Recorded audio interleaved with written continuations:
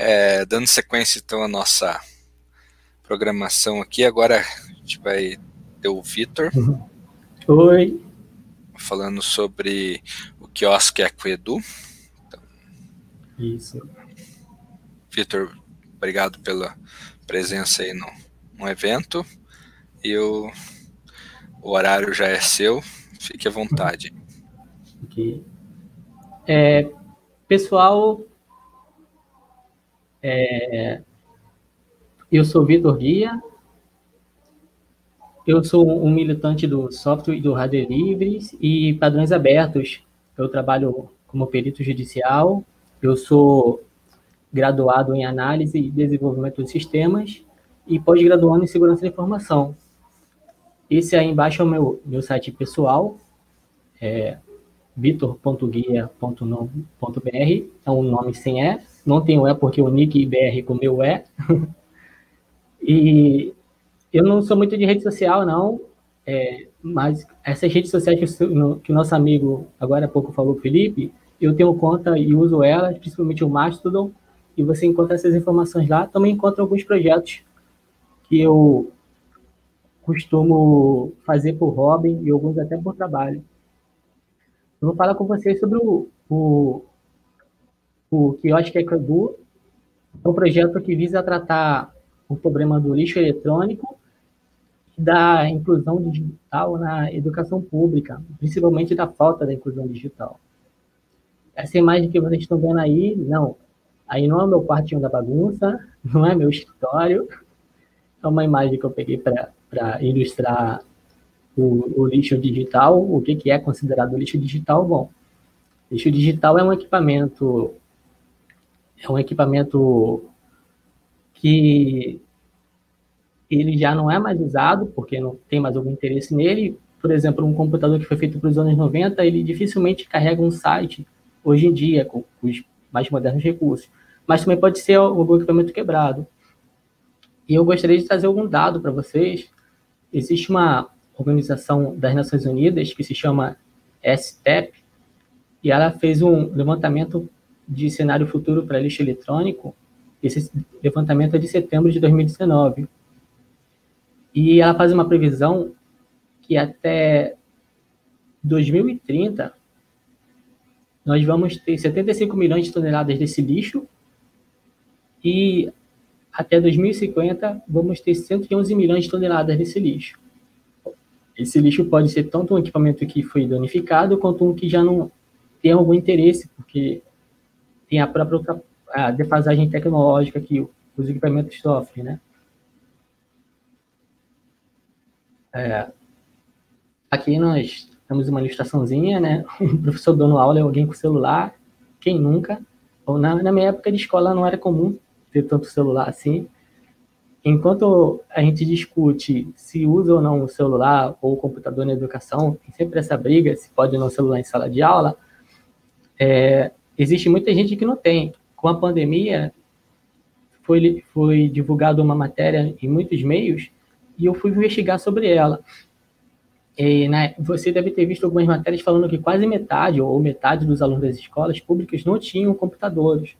Aí eu fui atrás e essa pesquisa foi é, a pesquisa TIC, de educação TIC, né? Tecnologia da Informação e Comunicação. É, essa pesquisa foi feita pelo CETIC e ela constatou que em escolas urbanas públicas, 39% dos alunos não têm equipamento de computação, 36% das escolas não têm laboratório de computação e, e, um dado que me chamou muito a atenção é que foi 57% desses alunos desejam trabalhar com TI ou alguma área relacionada, alguma forma, que, que eles consideram TI. Mesmo não, não, não tendo acesso a esses materiais para lazer, para educação, ou sendo instruídos a, a operar esses equipamentos. É, aqui nós temos o, uma outra ilustração que é bem legalzinha. Isso aqui é um exemplo de um pneu sendo usado para então, um, uma xícara de café. Isso daí vai ser usado para jardinagem. E ele aborda uma, um, o princípio dos três R's. Para quem é dos anos 90, a gente viu muito essa campanha na TV. E o que são esses três R's? Né? Reduzir, o que significa consumir menos, e preferir produtos que tenham maior durabilidade e menor potencial na geração de resíduos. Reutilizar, que é utilizar o máximo de vezes possível o mesmo produto e reaproveitá-lo em novas e diferentes funções, que foi feito com esse pneuzinho e o que está sendo feito com esse projeto. E reciclar, que é transformar resíduos em matéria-prima para outros produtos por meio de processos industriais ou artesanais. Bom, essa é a mais comum, que a gente sempre escuta falar na TV, só que ela deveria ser a última, última etapa desse processo.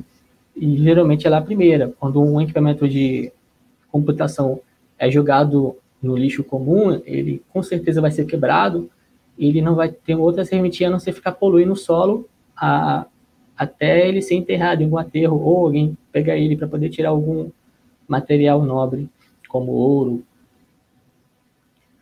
É, aqui, essa daqui não é a minha estação de solda, quem dera, ela é muito bonitinha. Eu, uma ilustração do, da cultura, cultura maker. Eu, eu gosto muito dela, eu sou um, maker, eu gosto de ficar fazendo as coisas, é, estudando, fazendo besteira, quebrando equipamentos. Bom, o que é cultura maker? Baseia na ideia de que as pessoas devem ser capazes de construir, reparar e alterar objetos dos mais variados tipos e funções, como as próprias mãos, baseando-se num ambiente de colaboração e transmissão de informações entre grupos e pessoas. Isso é a cultura maker. Vocês podem ver, eu apresentei um, um, alguns problemas, alguns dados que vocês estão cansados de saber. É, problema do lixo, problema da reciclagem e o problema da educação. Se, ah, mas existe uma empresa que faz coleta de material e reutiliza esses computadores e até revende. É sim, aqui perto, eu sou do Rio de Janeiro, mas estou morando em Pernambuco, aqui perto tem uma empresa bem grande que faz esse trabalho. Eu liguei para ela essa semana para entrar em contato que eu estou querendo comprar um notebook e eles falaram que vão ser material. É, é, comum, porque não, não é toda hora e muito desses materiais se perde. É, a, a ideia não é substituir eles nesse processo, eles têm um papel muito importante, embora exista um custo para os produtos, de, é, os computadores chegar até eles, e às vezes esse custo não vale nem a, a, o reparo desse material. É, aí é que entra a cultura maker, em que a gente capacita pessoas, né, alunos, a comunidade em torno, para ela mesma resolver os seus próprios problemas. É, e aqui é o quiosque, né? O quiosque é, é com Edu. Ele é um projeto construído com equipamentos de computação recondicionados, que iriam ser descartados e poluir o meio ambiente, mas agora executa softwares livres e educativos. Bom, ele está bem aqui atrás de mim, tá, tá ligando. Eu vou passar a foto dele daqui a pouquinho. É, a primeira coisa que eu tive que fazer foi meter a mão na massa. Eu, infelizmente, eu bati até algumas fotos de quando eu estava construindo isso. Isso daqui foi feito com madeira velha é, compensado de, imóveis. Algumas pessoas falaram que parece o Pel e o Nitorrinco. Se a Disney perguntar, não foi a intenção para evitar um processo, mas ficou bem parecido, que é uma é, é o é o quiosque. É, para quem não sabe, quiosque ele é um, um equipamento computacional que ele executa uma ou poucas funções. São tipo o terminal de autoatendimento de banco ou o terminal no mercado que você vai consultar preços de produtos ele executa uma tarefa e deve executar tudo que ele está instalado nele, deve só fazer isso, ou, ou com alguma margem para que ele faça isso muito bem. Não é um computador pessoal que possa fazer mais de uma coisa. Aqui a foto dele pronto. É, ele está rodando um, um, um, programa que é o Gcompris, que é um software livre educacional, eu vou falar mais dele daqui para frente. Ele está operando em cima de um EPC da Asus, um computador do, do início dos anos 2000. É como você pode ver, ele, no caso tem um monitor, monitor CRT, que é lixo eletrônico mais comum que tem, teclado, mouse, USB, ele tem uma caixa de som. Bom, aqui são os hardwares que eu usei. É o laptop Asus, é PC 4G, ele tem um processador Intel Celeron M, esse M eu acho que era aquele computadores móveis, 900 MHz, ele vem com 4 GB de SSD e 2 GB de RAM, o monitor, né? 14 polegadas, teclado, mouse e caixa de som. O projeto mesmo, depois que ele está instalado, você consegue operar ele com 1 GB de armazenamento e 1 GB de RAM. Aqui era o computador antes dele estar tá quebrado. Essa imagem não é nem minha, embora eu usei ele antes dele quebrar, mas eu não, eu só tenho foto dele com nenhuma boa para aproveitar. Ele é um computador bem no início, como eu já falei, dos anos 90, é, início dos anos 2000, era muito legalzinho. A ideia era ser um notebook barato e, e, e leve. E aí, conforme o tempo, ele, por exemplo, não carrega quase SAT imagem nenhum. Ele já ele primeiro quebrou a tela, depois quebra o teclado e perdeu o touchpad, né? E ele já não é preparado para isso, mas ele está totalmente funcional no, no, computacionalmente. Aqui é a foto do que sobrou dele.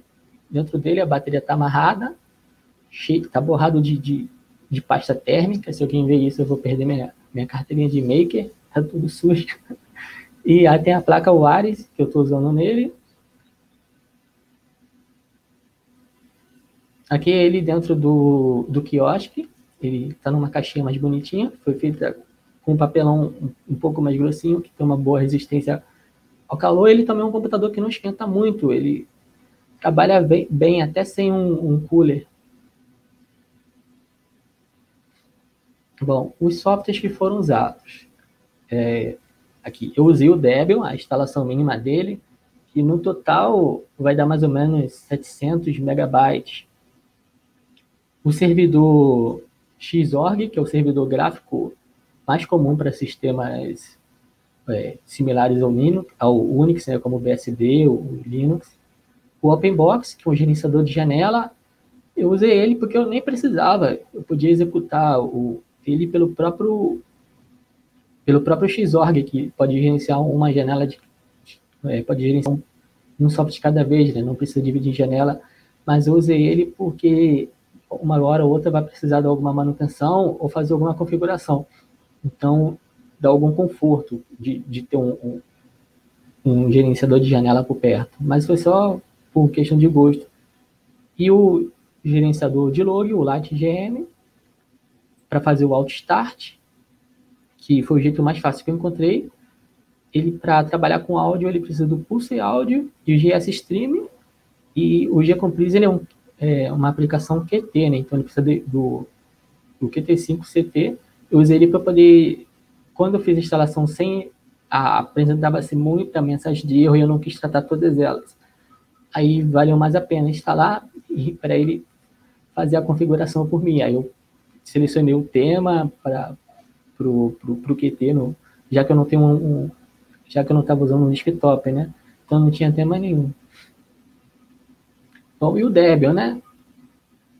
É, eu, eu uso Debian é, praticamente tem 10 anos. Eu, o primeiro Linux que eu tive contato vai ter, tem mais ou menos essa mesma época, eu usei pouco, que foi o Kurumin. Eu estava andando pelos camelôs e procurando é, softwares, né? Softwares que os camelôs vendiam no, na época lá, no, nos inícios dos anos 2000. E eu vi um curumim na capa, eu achei engraçado. Eu falei, o que, que é isso? Ele falou Linux. Eu falei, o que, que é o Linux? Sistema operacional. Ele nem soube me explicar. Por fim, ele me convenceu a comprar. E ele me enrolou e eu comprei o Linux. E eu trouxe para casa.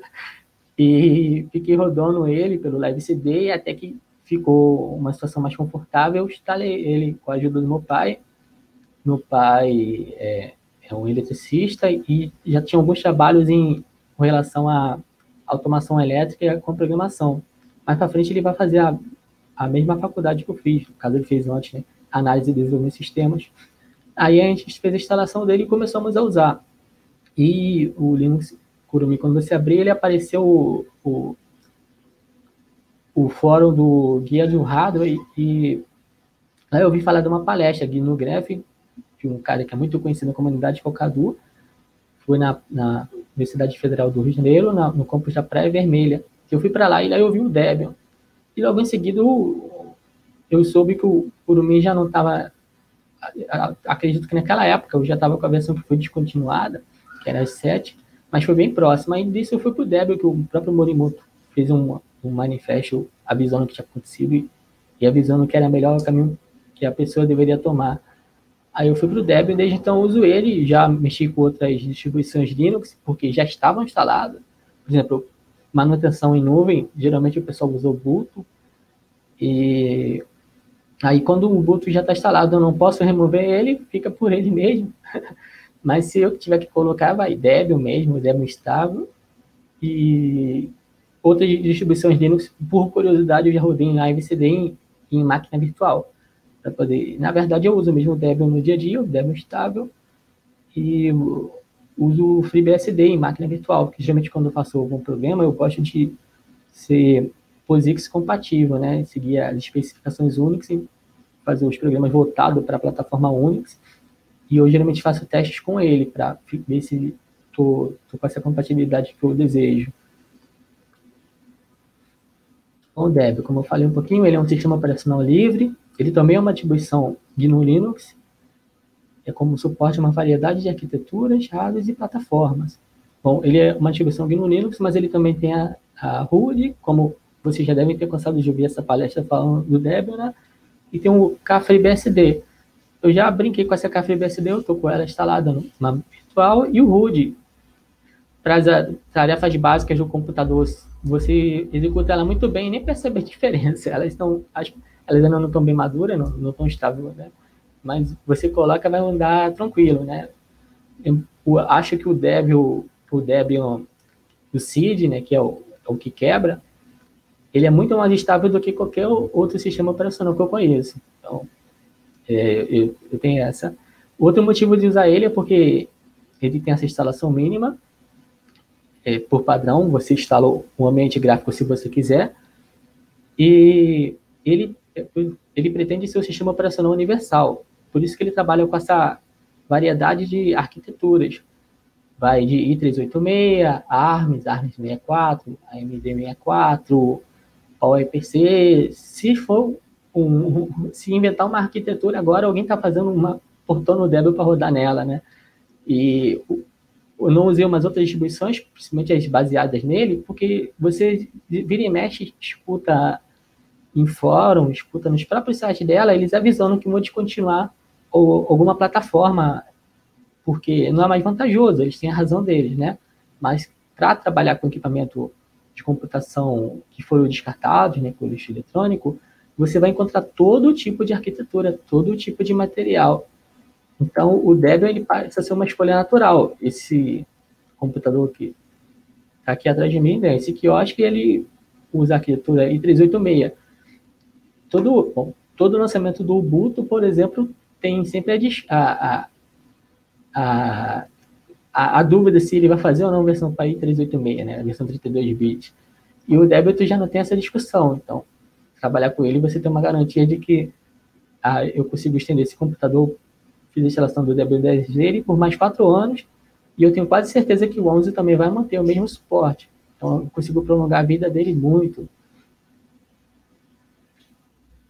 Esse aqui é o G-Complice. É, é o software educacional que eu falei. Bom, ele é um pacote de programas educativos livres, composto por uma grade com cerca de 100 atividades para crianças dos 2 aos 10 anos. Ele é disponível para as plataformas Android, GNU Linux, macOS e Windows. Enfim, ele roda em praticamente tudo. É, eu baixei a versão do celular para poder ver como celular para Android, como ela funcionava. Ela, ela praticamente tem tudo que a do computador tem. Se eu não vou falar que tem, porque, como, falei, como vocês estão vendo, são 100 atividades. Eu não olhei uma por uma ainda. É, ele tem algumas atividades que são ensinar a contar troco. Existe um bonequinho que o bonequinho está comprando produtos da tua loja e você então tem que entregar o troco na medida do dinheiro que ele te dá para pagar aqueles produtos. Existe também jogos para ensinar a digitação, existem jogos é, é mais variadas, álgebra, física, é claro, é, ao nível de uma criança de 10 a, 12 a 10 anos, não, uma criança de ensino fundamental, é, ele deixa eu ver uma outra que eu achei interessante dele, principalmente essa do troco, ela me chamou muita atenção, porque isso, se eu tivesse tido. Ah, ensinei a ver hora com o relógio de ponteiro, eu já estava até esquecido. Depois eu vou jogar para lembrar. Tem, tem várias a, a, aplicações educativas.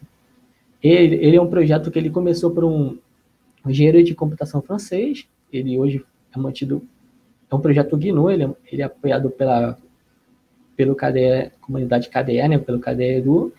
E a partir do momento que um programador meteu a mão e começou a fazer, apareceram outras pessoas, principalmente pedagogos, é, educadores. Então, são pessoas que realmente entendem.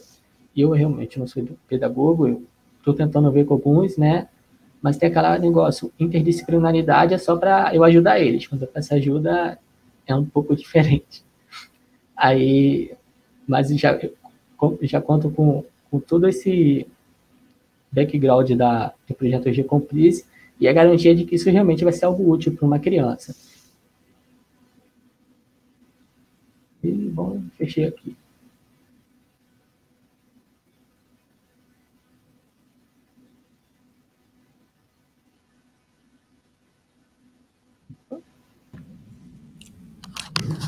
Show de bola. Eu me atrapalhei aqui com a apresentação, mas já tinha terminado. É, eu... é isso que eu ia perguntar, se você tinha terminado a apresentação. Parabéns pelo projeto, muito bacana. É, e, e, obrigado por usar Debian também no projeto, muito massa. E não ter vergonha de dizer que é maker, porque tem uns makers que têm vergonha de dizer que são. ah. A gente quer saber esse negócio da carteirinha de maker. Existe carteirinha de maker? Se tem, eu perdi. É, de vez em quando tem a carteirinha de maker, a carteirinha de apoiador de software livre, né? A gente perde ela sem nunca ter tido. É verdade. Eu, eu, eu achei sensacional a história do camelô que você falou, porque o camelô provou que software livre não é software grátis, né? Não, não é. o primeiro ele, software livre que eu tive, eu paguei 10 reais nele. Tá ele provou. Na época, 10 reais valia. É, ele provou que software livre pode ser vendido, vendeu um CD de, do Kurumi, né? Muito massa. Várias pessoas dando parabéns aqui pela, pela sua palestra, pelo projeto. Quem tiver perguntas pode enviar, tem um tempinho ainda. Realmente bem, bem interessante esse tipo de projeto para esse aí atrás é o que você tirou foto, né? Que tá, tá atrás de você. Isso, ele é o é, na verdade, é o protótipo, é o, o primeiro e único até agora, né? Ele. É, é, o primeiro e único até agora, foi o que eu fiz. E eu tô vendo agora com volta às aulas, que eu aproveitei a quarentena para fazer ele. Eu, é, eu falo sempre que tempo vazio, é, tempo vazio é a oficina do maker, né? Aí eu tava aí comecei a fazer ele, mas eu sempre fico é, parado. Eu, eu, eu, fiz um, piano eletrônico com Arduino, uma estação meteorológica. Tem até nesse site que eu passei, você consegue ver essas bobeiras que eu faço quando eu fico à toa. Uhum. Aí eu vou ver como eu boto as aulas, como é que eu vou fazer com, com as escolas da proximidade. Bacana. E você recebe doação de equipamento? Se alguém quiser doar, aí por onde, por onde você está, como é que funciona? Não, a ideia é que eu não recebesse, mas que a pessoa que recebeu isso, ela pode me procurar pelo, pelo, pelo, pelo repositório do GitLab do projeto, que eu uhum. consigo orientar ela. Por causa do, dos custos, não só financeiro, né, mas emissão de carbono para fazer esse transporte desse material. Aí a, a, ideia é usar a cultura maker de, da pessoa fazer, e se ela, que ela não puder fazer, ela ser capacitada por outros amigos que também são makers, para ela mesma tocar esse projeto. Mas eu não vou receber material, não. É, tem que lidar com isso é complicado, né? Também. Sim. Bacana. Pessoal, se tiver alguma pergunta, pessoal, várias pessoas dando parabéns para você pro. Pro ah, projeto. obrigado, pessoal. É, o, o Lucas perguntou o repositório do projeto. E eu não mandei, né? Deixa eu, eu... ver aqui. Saber que a gente recebeu alguma coisa. Quiser mandar no chat privado, daí eu copio aqui, mano. Pode, vou mandar.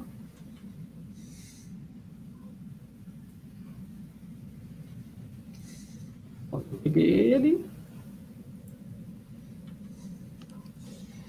E saber que estou com uma coisa. aqui, vou copiar no link aqui e publicar. Aí lá vai ficar a documentação e os scripts de instalações, e eu ainda estou construindo. Eu faço o primeiro e depois vou documentando, deveria fazer os dois ao mesmo tempo. Aí eu vou publicar ele depois. Massa, massa. Pessoal, mais alguma pergunta? Pro Vitor?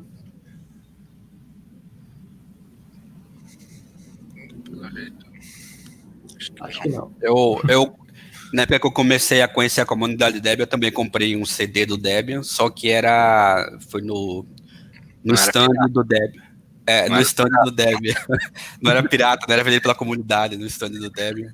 Nos eventos do software livre. Bem bacana. E, e tem software livre pirata? Boa pergunta. Vitor, obrigadão pela sua, pela sua apresentação. Não tem, não. É, obrigado, Vitor, é, pela apresentação aí, por é, dispor seu tempo aí para compartilhar seu conhecimento e sucesso aí no, no projeto aí. Ah, nada. Eu que agradeço vocês por, por a oportunidade de fazer um projeto sobre software livre e espero, eu vou, vocês podem aguardar que eu vou manter contato com vocês. Agora eu vou, vou me interessar em participar mais da comunidade Debian. Massa, massa. Vem, vem assim. A, a, comunidade é de todos aí. vem assim.